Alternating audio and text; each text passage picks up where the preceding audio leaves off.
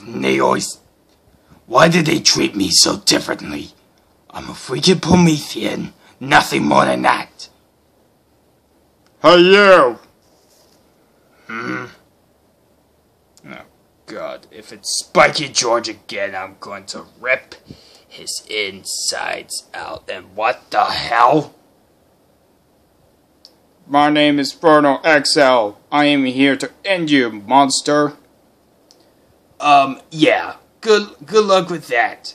Last Hero Factory that tried to do that, I killed him with a single strike of my claw. With one grasp. You kill Hero Factory? Yes, because you are always considering us to be evil. All monsters to be evil. Monsters are evil and you are evil. So prepare to face your demise by the hands of Furno XL. Wait, Furno XL? You're freaking pathetic. I am not pathetic. I have a fire sword and a fire shield. You do not on the bond called disruption, dumbass. I could blow you out like a birthday candle. Let to see you try.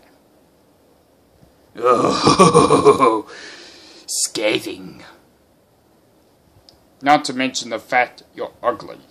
Oh, how scathing that was. So, I'll teach. I'll show you who's strongest and put you in your place.